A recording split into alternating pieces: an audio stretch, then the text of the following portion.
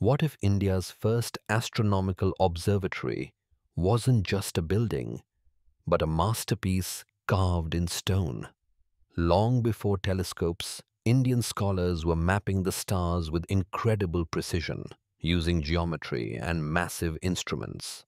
As early as 1200 BCE, texts like the Vedanga Jyotisha revealed our ancestors' deep understanding of solar and lunar cycles.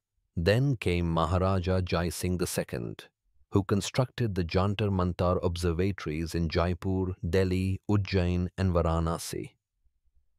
These weren't mere temples. They were colossal instruments, perfectly aligned to measure time, eclipses, and celestial movements with stunning accuracy. For kings, stargazing was more than science. It was about harmonizing earthly power with cosmic order.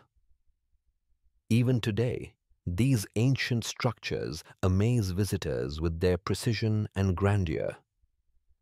India's first observatories were not just stone. They were gateways connecting the cosmos to human destiny. Curious about more historical wonders? Like, comment, and subscribe for more mysteries in just 60 seconds.